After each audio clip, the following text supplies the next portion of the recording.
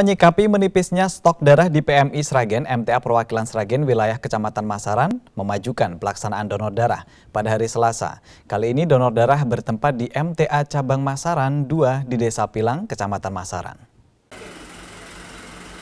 Beginilah jalannya kegiatan bakti sosial donor darah di PMI Cabang Masaran 2 pada hari Selasa. Donor darah ini menggabungkan warga MTA Cabang Masaran 1 hingga Masaran 6 dan masyarakat sekitar Hadir pula jajaran pejabat Forkopimja Masaran dan pemerintah Desa Pilang yang juga turut mendonorkan darahnya.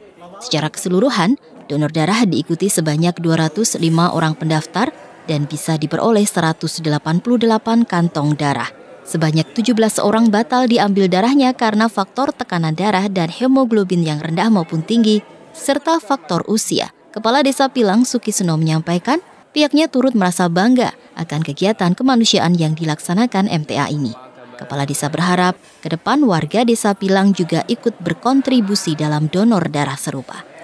Saya berharap eh, karena kegiatan ini sangat bermanfaat, ada semacam berkesinambungan. Harapan kami nanti juga sayang disebutkan di desa Pilang, itu desa Pilang juga akan berupaya bagaimana nanti warga yang ada di seluruh desa Pilang itu bisa ikut andil dalam aksi kemanusiaan terutama donor darah. Wakapolsek Masaran, Ibda Agus Sudibyo menyampaikan pihaknya sangat mendukung donor darah ini karena menunjang kebutuhan darah di PMI Sragen. Kami selaku wakil dari Musbika eh, sangat mendukung sekali dengan adanya kegiatan donor darah ini karena eh, untuk menunjang dari pengadaan uh, darah yang mungkin di PMI sedang menipis. Kontributor Seragen Jawa Tengah, Syaiful Ahmad melaporkan.